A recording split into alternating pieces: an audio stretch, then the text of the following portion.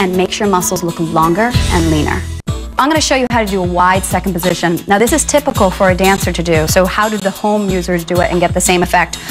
Place your hand on the bar, come up on releve, sink down, arm in first, then out to second, and then I can feel it—my calves, my hamstring, my seat. And again, the front of my thigh is not going to be overdeveloped here, which is brilliant. That's why dancers look so good. You barely have to move, and, and you feel it everywhere. My legs, my arm, my abs, even my chest and my upper back. And what do you do in the gym to mimic this?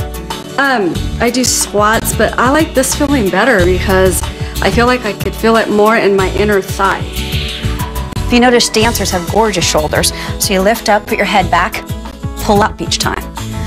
And notice again, the bar doesn't move. Love this bar.